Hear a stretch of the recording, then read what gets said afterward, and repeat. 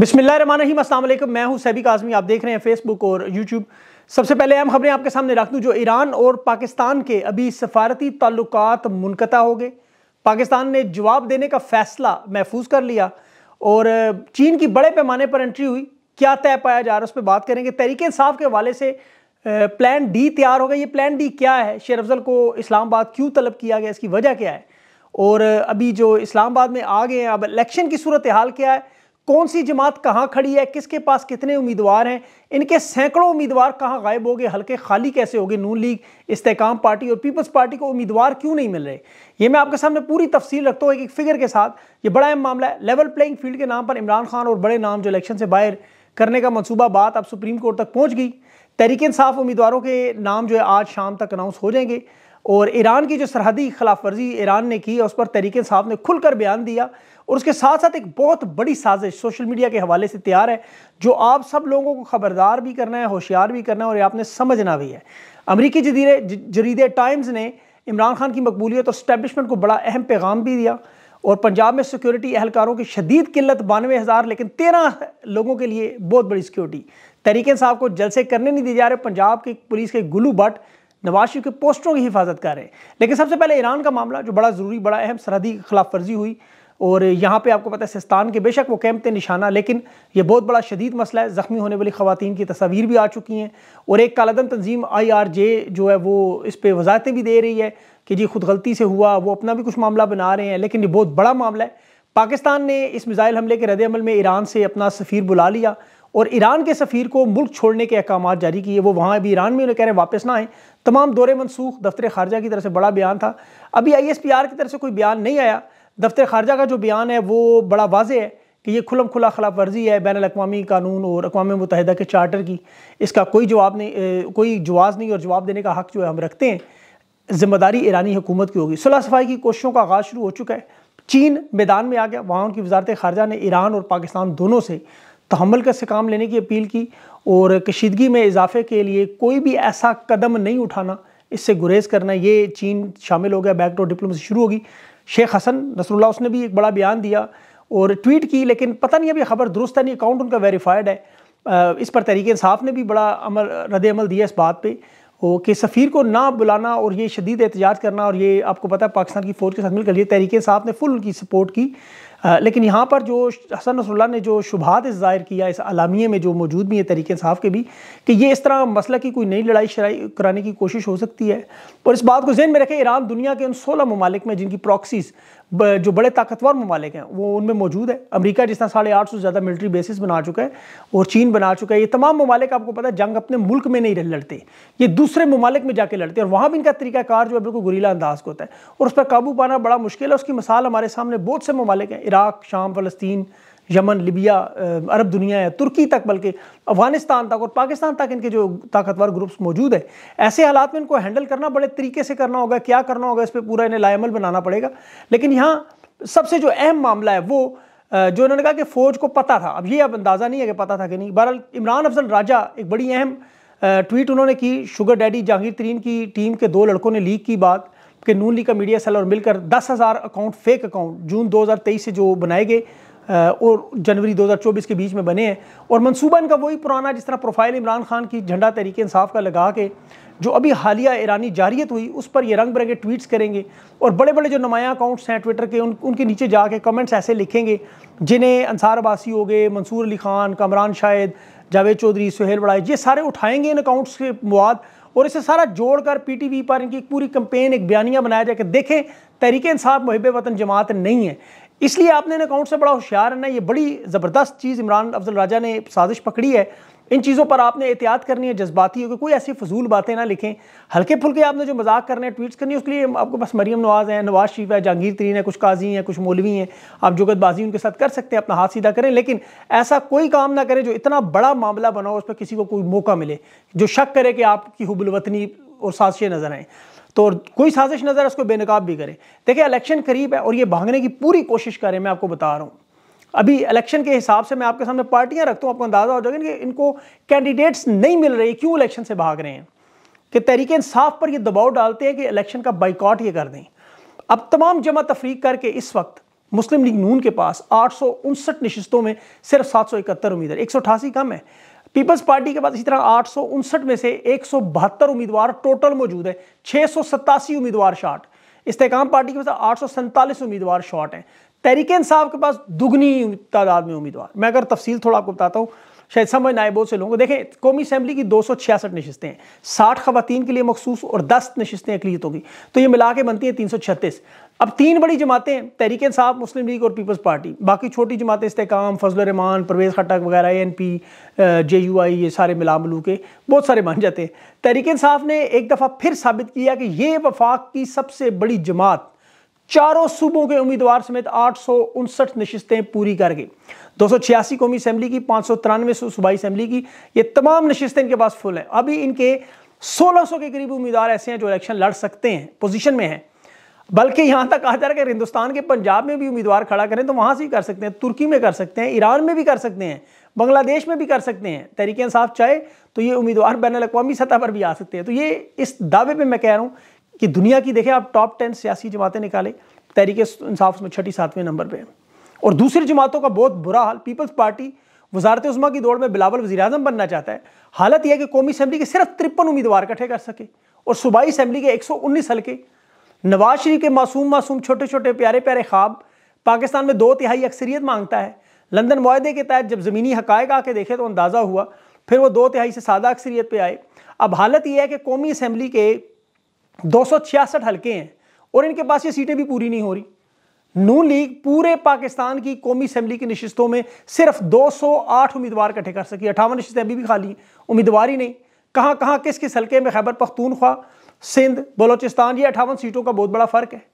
अगर आप यही कौमी और सूबाई अच्छा सूबाई की भी मैं आपको बता दूँ कि सूबाई नशस्तों में इनकी हालत यह है कि पाँच सौ तिरानवे नशस्तों में नून लीग के पास चार सौ तिरसठ उम्मीदवार है, यानी एक सौ तीस उम्मीदवार सूबाई नशस्तों में भी शॉर्ट है। अब ये सारा अगर आप टोटल करें, आठ सौ उनसठ नशस्तों में से तो इसका सात सौ इकहत्तर नशस्तें बनती हैं यहाँ ये पूरा करें अभी भी शॉर्ट उसमें जा रहे हैं। इस्तेकाम पार्टी किंग पार्टी बनी हुई थी, जो जहांगीर तरीन ने तरीके इंसाफ बनाई। जी शुगर डैडी शुगर माफ़ी फलां फलां फलां। ज़रा इन लोगों को सामने लाएँ जो ऐसी बातें करते थे। और जहांगीर तरीन ने बनाई थी तो अपनी पार्टी बना ले पहले। इस्तेकाम की उम्मीदवारों की जो लिस्ट शामिल हुई, उसमें कौमी असम्बली और पंजाब में बारह उम्मीदवारों के टिकट ने सैंतीस उम्मीदवारों को उन्होंने टिकट जारी किया और सारे के सारे उम्मीदवार तरीके इंसाफ के लौटे। खुद जहांगीर तरीन, बकल में खुद अलीम खान, गुलाम सरवर, फरदोस आशिक, हाशम डोगर फयाजुल हसन चौहान, हमायूं अख्तर, ये सारे के सारे वही।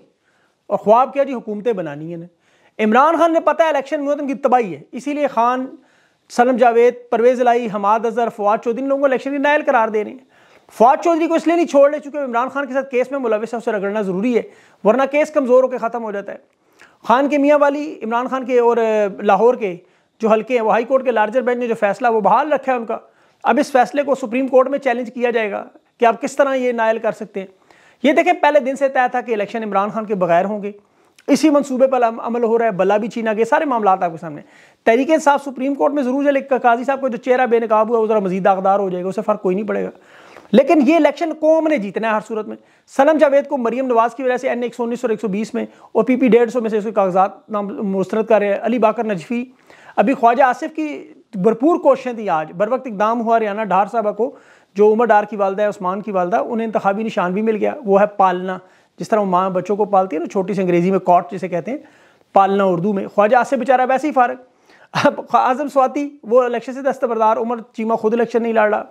मुराद सईद के हवाले से देखें जो जस्टिस इश्तियाक इब्राहिम की अदालत में कागजात नामजदगी पे वकील ने बड़ी फाइट की उसने। उसने कहा, मफरूर होने पे आप क्यों उनके कागजात मुस्तरद करें? बाकी मफरूर उम्मीदवारों के आपने कागजात ट्रिब्यूनल ने मंजूर किए और मुराद सही को नौ मई को गायब नहीं हुआ, वो नौ मई से बहुत पहले से स्क्रीन से गायब है। और सिक्योरिटी के खदशात है। सदर पाकिस्तान को चीफ जस्टिस को खतूत लिखे हैं, ऑन रिकॉर्ड मौजूद है। जस्टिस इश्तियाक इब्राहिम साहब थे पिशावर के, उन्होंने कहा, जी, पंजाब में तो सरेंडर कर गई खातन भी यहाँ भी मुराद सही सरेंडर करें। वकील ने कहा, जान का खतरा है, वरना सरेंडर भी कर देता। अब यह मामला बहुत बढ़ जाए, इसे सरेंडर करे तो आपको पता है क्या होगा उसके बाद। इसीलिए अब देखना ही है कि वो फैसला वो भी महफूज हो गया कि कागजात होंगे मंजूर या नहीं। तहरीक साहब ने अपनी हमत अमली तैयार करी है। देखिए शरफ मरवत को हंगामी तौर पर जो सिंध में इंतबी मुहिम रोक कर पंजाब बुलवाया जा रहा है, उसकी बड़ी वजह यही है कि इमरान खान चाहते हैं कि लाहौर और पंजाब में तहरीक साहब बड़े बड़े जलसे करें, कारकुनों को दोबारा चार्ज करें। वैसे तो कारकुन ऑलरेडी चार्ज हैं, इस वक्त ज़्यादा ज़रूरत नहीं है, लेकिन इंतबी मुहिम चलाने के लिए, क्योंकि सबसे ज़्यादा पाकिस्तान में अगर जो गदर मची तो पंजाब में थी, यहाँ एक सौ इकतालीस कौमी असम्बली की नशस्तें हैं। और यही इलेक्शन का फैसला होता है। इसीलिए सारा ज़ोर यहीं पर डाला गया, सारी वारदातें यहाँ हुई। शेर अफजल को यहाँ फिल्फ और जलसों की कमान संभालने के लिए भी कहा जाएगा। और तहरीक साहब जो अपना 20 जनवरी को वर्चुअल जलसा भी करने जा रही है तो हो सकता है 20 जनवरी को फिर एक दफ़ा शाम को इंटरनेट पाकिस्तान में, आपको पता आहिस्ता हो जाए, रोक दिया जाए, या कोई केबल काट काट जाए मछली वछली तो ये बिज़नेस लोगों को बेशक तबाह बर्बाद हो, जिस तरह बिजली लोड शेडिंग लोगों ने तस्लीम कर ली गैस की लोड शेडिंग मान ली, कीमतों में इजाफा मान लिया, महँगाई पचास फ़ीसद तस्लीम कर ली। इंटरनेट भी समझौता लेने का लोग कर लेंगे, लेकिन लोगों ने जिस तरह बिजली का यू बी बना लिया, वो सिस्टम सोलर निकाल लिया इंटरनेट का भी लोगों ने हल निकाल लिया।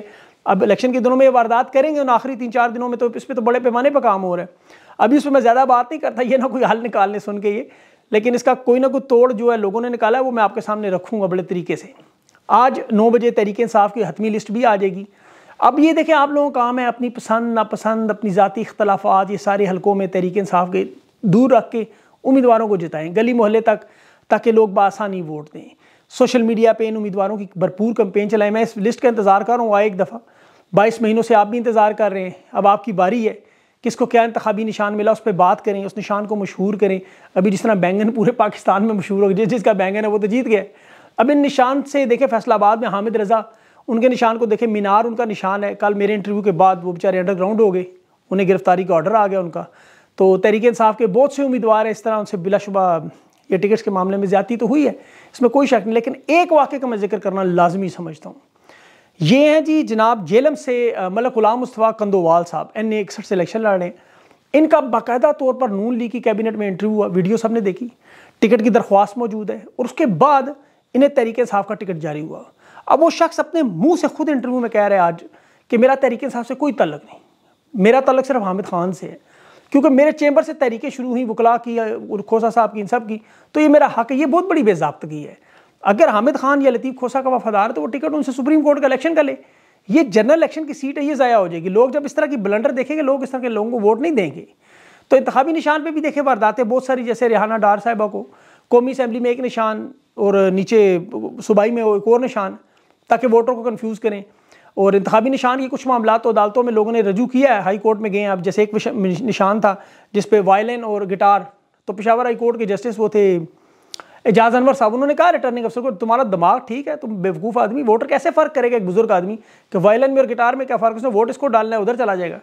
तो इस तरह की बहुत सी बारीक वारदातें हैं, लेकिन ये आप लोगों का काम है, लोगों को शौर देना। अब सारी गेम अवाम पे हंड्रेड परसेंट क्योंकि निगरान भी निकम्मे, ये सारे निकम्मे निखट्टू नैल अभी देखें निगरान वजी अजम नवारुल काकड़ काकड़ उसके हालिया बयान में देख रहे थे, बड़े फोरम पर ड्योस में अपना मज़ाक उड़ा कहता है, पहले पाकिस्तान को चीन का इसराइल कहता रहा आपको याद होंगी स्टेटमेंट आज मिसाल दे रहा है जी, पाकिस्तान दुनिया की इको इकनॉमी है, वो इंडिया है।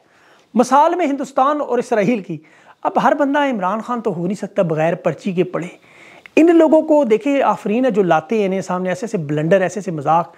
ऊपर से एक और मज़ाक करता है, जी पाकिस्तान का मीडिया, मगरब के मीडिया से भी आज़ाद है। ज़रा अंदाज़ा करें, अब जो टाइम्स में आर्टिकल लिखा है, इसको ज़रा पढ़ाए बंदा, पढ़े ज़रा, कि उसमें वोट ऑफ़ कॉन्फिडेंस से लेकर कातलाना हमले, बोगस केसेस, नौ बाई ग्यारह फुट के सेल में रखना 160 दिन से एक कतर साल बंदे को बेगुनाह, जिसकी 80 फ़ीसद मकबूलियत हो, जिस पर हर तरकीब दुनिया की स्टैब्लिशमेंट ने इस्तेमाल कर दी हो।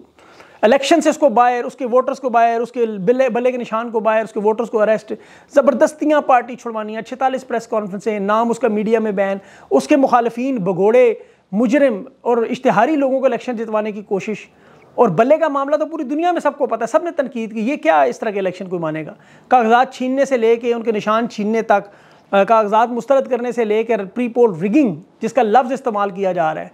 और ऐसे ऐसे फ्यूजिटिव जिन्हें कहा जाता है, इश्तहारी, मुजरम, भगोड़े उन्हें ला ला के ज़बरदस्ती बिठा दिया जाए। तो वर्ल्ड इकनॉमिक की, मैंने कल भी डिओस की बात की रिपोर्ट पढ़ी जहाँ काकड़ बैठा हुआ है, वो कह रहे हैं, अवाम का गुस्सा सिविल वॉर में ना बन जाए। और यही सबसे बड़ा खतरा है कि इलेक्शन में इस तरह की उन्होंने धांधली की आ गई। भारत, अफ़गानिस्तान, ईरान सीधे हुए में आठ फरवरी को उन्होंने वारदात की तो ये पुरमन जमहूरियत का मरला कहीं और ही ना चला जाए। अभी बहुत सारे बैरूनी महाज आपके सामने खुल चुके हैं तो ये अंदरूनी महाज अल्लाह ना करेगा, खुला तो मामला बड़ा ख़राब हो जाएगा। यहाँ पे बहुत बड़े बड़े सवाल हैं। कि इतनी ज़्यादा बेकायदियों के बावजूद अमरीका और मगरब के ममालिक खामोश क्यों हैं? अब जो बाइडन की फ़ॉरन पॉलिसी उठा के देखें उसमें सबसे पहला पॉइंट है जमहूरीत की प्रमोशन दुनिया में। ये इसका नुकता था। अब 140 अरब डॉलर के बैरूनी कर्जों में पाकिस्तान तबाह, महँगाई 50 फ़ीसद है और यहाँ तबाही बर्बादी लग मची हुई इलेक्शन में, लेकिन वो बोल नहीं रहे। सिर्फ़ खान रूस और चीन के कैंप में था। और ये सिर्फ़ बाइडन की हुकूमत है। अभी मैं बताता हूँ उसके साथ जो अरब मुसलमान करने जा रहे हैं। इस साल वो ख़त्म हो जाएगी। ट्रंप एडमिनिस्ट्रेशन का अपना फार्मूला होगा। और वो खुद रूस और चीन के करीब है। इस सूरत हाल में अमेरिका को भी देखे, कबूल करने में इतराज़ नहीं हो सकता। लेकिन यहाँ इनके लिए ये कि इमरान खान ना हो, चाहे कोई और मर्ज़ी हो जाए। और जो पॉलिसियाँ यू, चीन और यूक्रेन और ख़ासतौर पर फ़लस्तीन के हवाले से, अब ईरान भी आ गया उसमें। और पाकिस्तान के आप देखें हिंदुस्तान के कैंप में डालने की पूरी पूरी कोशिश है इनकी तरजीहत है।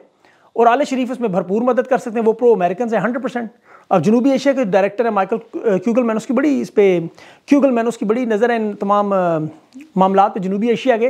वो हुकूमतें बनते, गिरते, देख चुका वो कहता है नवाज़ शरीफ किसी सूरत में इस्टेब्लिशमेंट के साथ वक्त ज़्यादा नहीं गुजार सकता। ये तारीख का हिस्सा है। और पाकिस्तान की तारीख ये भी हिस्सा है कि पाँच साल की मुदत किसी वजी अजम ने कभी पूरी नहीं की। तो फ़िलहाल तो उन्हें लाड दिए जा रहे हैं। सिक्योरिटी थ्रेट्स बड़ी है जी तो उनको सारी अस्करी नवाज़ मियाँ नवाज़ शरीफ साहब को फुल प्रोटोकॉल, मरियम, शहबाज, हमज़ा एया सादिक, राना सनाउल्ला, इन सब लोगों को ओन चौधरी वगैरह, ख्वाजा आसिफ इन सबको दे रहे हैं सिक्योरिटी फजल नमान जरदारी। और इन्हें ख़तरा है कि इमरान खान से बस। अब मसला मैं आपको जो बाइडन की बात कर रहा था, उसके इलेक्शन की एक पॉइंट बड़ा अहम पॉइंट मेरे जेन में है कि वो अरब दुनिया इस वक्त देखें, इस वक्त दुनिया में, अमेरिका में बहुत बड़ी तादाद में, जहाँ बाईस लाख पाकिस्तानी वोटर हैं और इसी तरह दुनिया के, अरब दुनिया की बहुत बड़ी तादाद और जो भी इन्होंने मामला हुआ है अभी फ़लस्तीन का, उस पर अब अरब दुनिया से आप बिल्कुल ये तस्वर भी ना करेगा कोई बंदा उन्हें वोट डालेगा। मुसलमान तो मुसलमान दूसरे भी नहीं डाल रहे। तो इस वजह से जो बाइडन का इलेक्शन जो है वो वाकई शेर अफजल के मुताबिक बढ़ गया है। तो ट्रंप जो है ना वो वाकई क्लीन स्वीप करेगा और उसके बाद मामला बदलते हुए नज़र आएँगे और बड़ी जल्दी होगा सब कुछ।